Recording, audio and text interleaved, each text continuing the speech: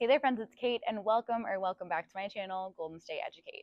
I am a fifth year second grade teacher here in Northern California and in today's video I'm going to be telling you all about my math centers. So, if you're wondering why you should do math centers, I think the biggest reason that I wanted to do them is because I wanted to engage my students. I wanted to have a way for them to review the concepts that we'd covered already, and I wanted them to talk in partners. I wanted them to collaborate. I wanted them to practice being mathematicians and showing their work. And I wanted them to have a math station that wasn't dependent upon me and wasn't dependent upon a computer. I already have an independent station where they do a worksheet. I already have a technology station and I already have a center when they're with me. But that fourth station was something that I wasn't exactly sure what to do with them. As a kid, I had never liked math and I was never engaged during math time because I thought it was really hard. And then as a teacher, I felt so confused about how to make math digestible and simple and engaging for my students. And two years ago, I decided that my summer project was going to be figuring out what I was going to do for math centers. So I watched so many vlogs, I read so many blogs, I followed so many people on Instagram to see what they were doing, and I finally figured out a system that works for me. So, as I talk you through these centers, I will have them linked down below where they came from. I have some centers from Happy Hearts in First. I absolutely loved her blog when I found it.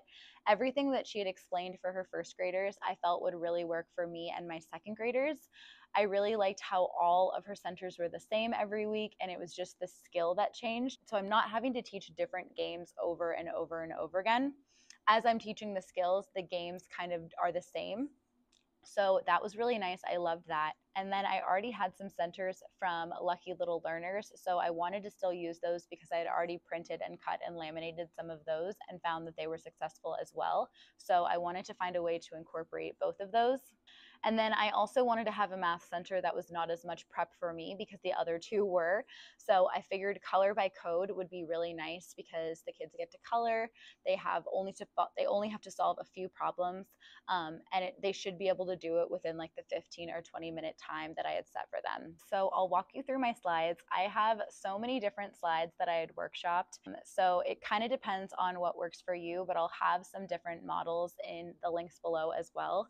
The thing that's worked out for me the best has been four days of math, and each day we have one hour. I would love to have five days, but with the schedule that my school keeps giving us, we just never have time for five days. So I have four days. Last year, I did a lot of t- trial and error, and I tried to have four math centers, and they would do a different one each day. But there was always a day that got cut short, or we had a rescheduled PE, or we had an assembly or a field trip. So there was always a math center that kind of got left out or there were other centers that took longer and they couldn't finish in just one day. So this year I have Monday, Tuesday, Thursday, and Friday. And I think I'm going to call Friday Finish It Friday. So if there's a tub that they didn't get to, or if there's something that they didn't finish yet, they can get back with their partner and finish the math tub on Friday. So that way it's all turned in by the end of the day. So, in addition to my four days of math centers, I also have four groups. So I have a group that is pretty high intervention um, and they work with a skilled interventionist in math. So she has some things that she does with the students as well, but she can also pull from my math centers and play the games with the kids just because they're not quite independent enough to be playing the games week to week by themselves. So in my center slides, you'll see that there is a tutor table and those are the kiddos that go with her. With my slides, I try to see every group every day as much as possible, but if there's a group that I can't see, it's always my snakes because they are the highest and there's always some extra work that I can give them like word problems or jump into other fluency problems as well. So that's the group that I am not too worried about because I can always challenge them in other ways. But I do want to make sure that I see my crocodiles and my lions and my tigers. I definitely want to see my tigers on days that they're not able to meet with the interventionist if she's gone or absent. So now that I've talked to you about why I do math centers and where they came from and how I built out my slides, I wanted to walk you through each of my math tubs. Math tub one is always solve and cover. I got these cards from a variety of places. Some of them are from Happy Hearts in First, and some of them are from Lucky Little Learners. And the reason is because they are differentiated in a different way. Um, some are better for first grade and some are better for second grade, but they are the same in terms of that they are both self checking. So when the kids come to this math tub, these are the supplies that they'll have. They have their markers and erasers. They each get a marker, they each get an eraser, and then they have two sheets um, that they can play for game boards. They have their mini erasers, so when they win a point, they get to cover up the dot with their mini eraser. And then they also have the solve and cover cards. I just rolled out my centers this week, so that's why I have multiple of these and they're not laminated. But as I'll show you after this, I have only one set of each set of cards and then they're all cut and laminated. So when the kids come to the center, they have their whole thing set up and then they start playing by looking at the card. So this one is a 10 frame. They would count 10, 11, 12, 13, and then they would write 13 in their answer. I always tell them to cover it up and wait for their partner to be ready and then reveal at the same time. So they will look at it and they will reveal. And they are self checking, so the answer is always on the back. If they put 13, they will get to take a mini eraser and cover it up and then they will just keep playing like that. It's really nice because it's a really low stakes game. It's really just for practice. So if they get it wrong, you know, they just don't get to put an eraser. But other than that, there's like really no harm in doing it. There's no fights over this game. They're able to talk to their partner. This is a really nice collaborative game as well because if they get different answers, it's nice to hear them talking about why it's wrong or why it's right and then just validate the answer that they got. It's really nice because it's self checking. So they really can't argue about an answer because the right answer is on the back. As you'll see, all of my centers are really different in a variety of ways, but this one is engaging because they get to manipulate a lot of pieces. The only thing that I'm changing out are the cards um, in terms of skill. But then every week they also get a different set of mini erasers. I have so many erasers. Um, so I just on Monday pick which erasers they'll have for the week. And then every week they also get a new game board. So I have so many different ones. I really love to change them out for the holidays. And then I have two sets of each one. So all I have to do is take them out and then put them in the sheet protectors. But this has lasted us all year and they really love it. So I store all of my solve and cover cards in these photo keepers from Michaels. They have a really good deal on them in the summer. So I got all of these for about $12 and I have multiple of these. I wanted to organize them by module. We use Eureka Math, so we have modules one through eight, and then some of them fell off, so I need to relabel them. But I have module one, two, three, and then I have a whole other case for modules four through eight. So every week I choose a new card and then I just change out the cards. I find the new erasers for the week and put them in here. And then I choose the new um, game board that will go in the sleeve protector. So this whole setup is so nice. So after Math Center 1, they have Math Center 2. And Math Center 2 is a crowd favorite. I also love Math Center 2 because it's the one that is the least um, prep for me. So Math Center 2 is always color by code. This is the center that kiddos can do independently. I let them sit with their partner, um, but they're pretty much doing the math independently. If they have a question, they can ask their partner. Um, but this is one that they really get to just solve the problems, answer the questions, and color it in. So these are really fun, much like the solve and cover sheets, I also tried to organize these by module and then also match it with the seasons that we have. So just another way to make, keep math games really engaging. So this is what a lot of them look like. It's not too many problems. Um, and then they're able to write the answer and then just go ahead and start coloring it in. So these are really nice. These are also really cheap. A lot of them I've gotten for like a dollar fifty on TPT. Sometimes they're like two or three dollars, but it's just a really easy center for me to prep for the kids and a really easy center for them to do. So these are from Lucky Little Learners. Our first module is addition and subtraction uh, within 20. And then we get into some measurement, we get into place value. I have more of these that I need to print out actually as well. In the fall, we start doing addition and subtraction two digits without regrouping. So I have these cute like scarecrow and, and squirrel ones. They love these. In the winter, we start teaching two digit addition with regrouping. So I have some of these. Two digit subtraction with regrouping. We get into three digits with and without regrouping in like Christmas time and in the winter. So I have all of these. We even have ones for Valentine's Day, three digit within within without regrouping. Once we get to module six, it is intro to multiplication. So I have some arrays, some repeated addition, some columns and rows are right here. And then for my high flyers, I have some actual multiplication ones that they are ready for. Later in the year, we do money and time and graphing. So I found all of these. And again, you get about like six or seven in a bundle. So, uh, and they're all differentiated by like time to the half hour, time to the minute, time to the hour, time to the five minutes. So as we go through each week, we can do a different one. And sometimes I'll even put two in there. So if they finish one, they can do the next one with their free time and then some just general like review at the end of the year are like spring and summer ones of skills that we already know how to do. Which brings me to Math Tub 3, which is definitely the most interactive game because they're moving around the classroom and it is Solve the Room. So I used to have a cover for this. It got ripped off last year, but um, inside are just the Solve the Room recording sheets. They get this with a partner. They get a clipboard and have one pencil. They can only have one pencil because they're sharing it with a partner. So they go around the room to different cards and they switch back and forth with their partner, talking about math and talking about how to solve them.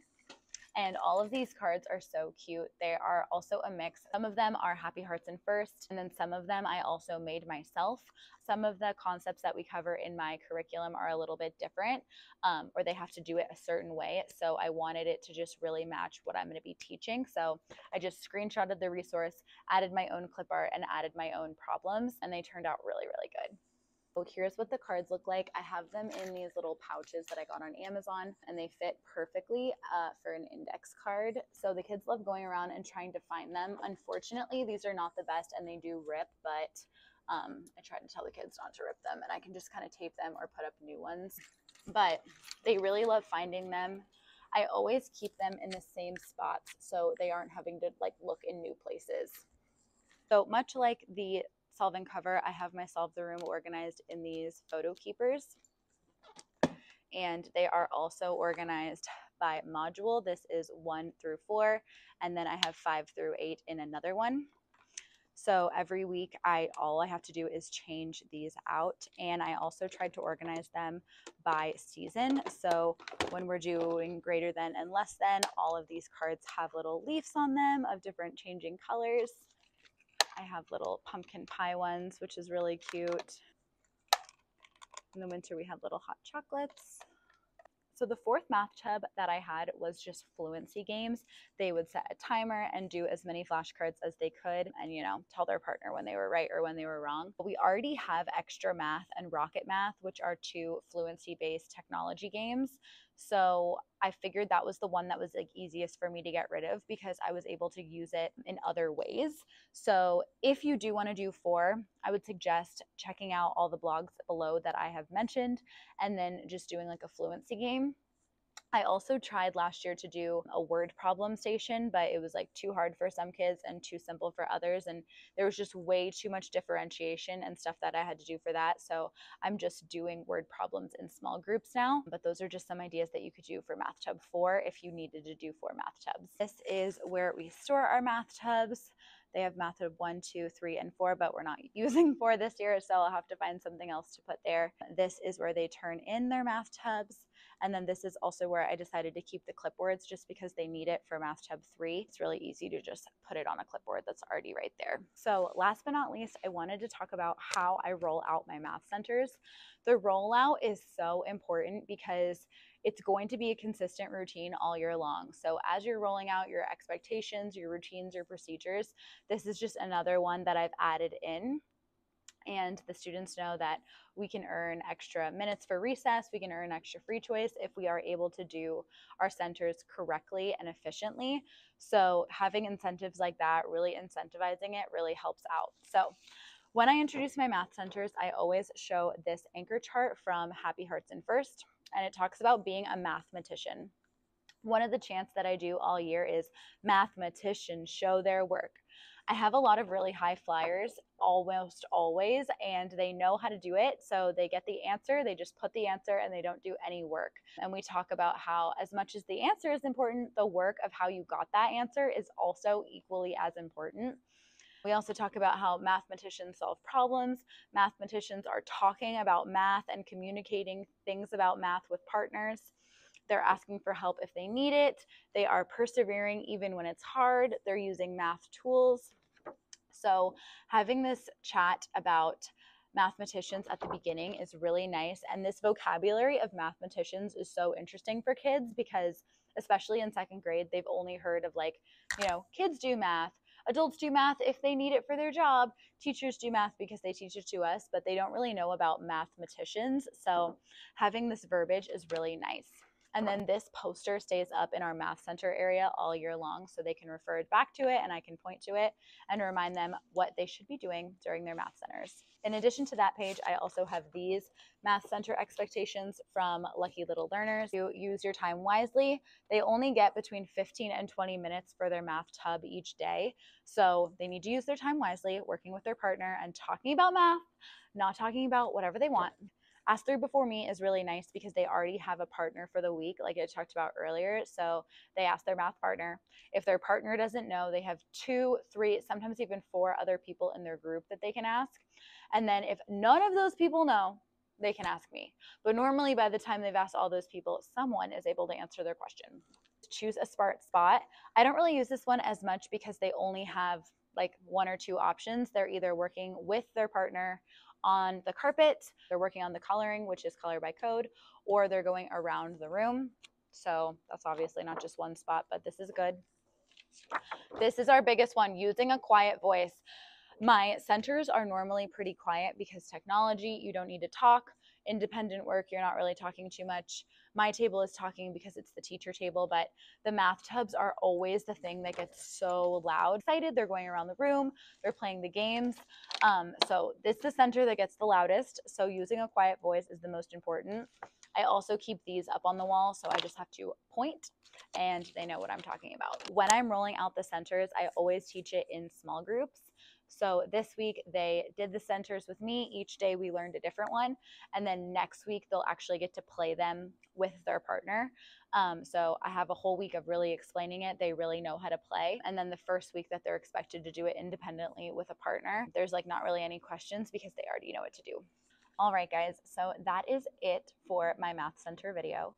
I have filmed this so many times. I was talking so much, but I really hope I was able to edit down to something that is really concise and easy to understand. I will tell you, it is quite a lot of prep.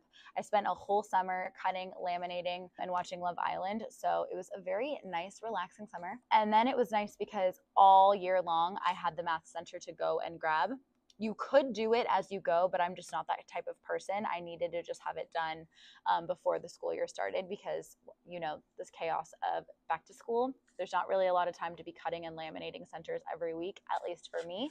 But do what works for you. I hope this was helpful. Please leave a comment down below if you have any questions. I would love to talk with you about math and about math centers. As a former math hater and a now a reformed math lover, this is a part of my day that actually goes so smoothly, regardless of what else is going on in the school day. Our math time is always really fun and engaging for me and the students. So, hope this was helpful. Thank you so much for watching. Thank you for being here. If you haven't already, please make sure to subscribe down below, and I'll see you guys in the next one. Bye, everyone.